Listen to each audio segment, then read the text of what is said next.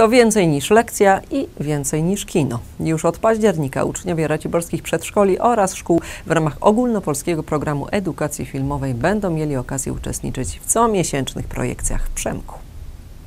Raciborskie Przemko przy Domu Kultury Strzecha gotowe na rok pełen wartościowych seansów dla młodych widzów. Rozpoczyna się właśnie nowa edycja programu, który ma w nich rozwijać zrozumienie współczesnego świata oraz znajomość polskiego i zagranicznego kina. W 2001 roku zaczęliśmy edukację filmową dla dzieci i młodzieży e, i od tego, i od tego czasu e, prowadzimy Szkolną Akademię Filmową. Ale formuła jakby się troszeczkę przejadła.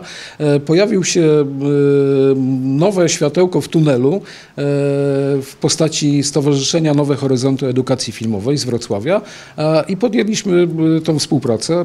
Oni współpracują już z wieloma kinami w całej Polsce.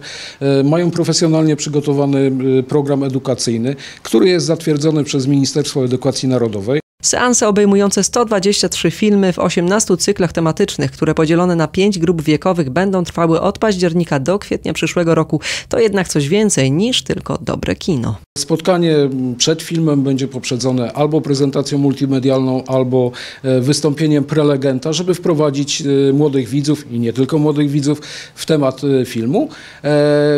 Dla nauczycieli będą również pomoce naukowe pod tytułem można będzie sobie ze strony Stowarzyszenia Nowe Horyzonty ściągnąć scenariusz, gotowy scenariusz lekcji, przeprowadzić rozmowę z dziećmi. Pierwsza taka filmowa lekcja w kinie Przemko odbędzie się już 16 października o 9.30 i adresowana jest do przedszkolaków. Zapisów można dokonać na witrynie Stowarzyszenia Nowe Horyzonty, a seans, jak każdy kolejny, kosztuje tylko 5 zł.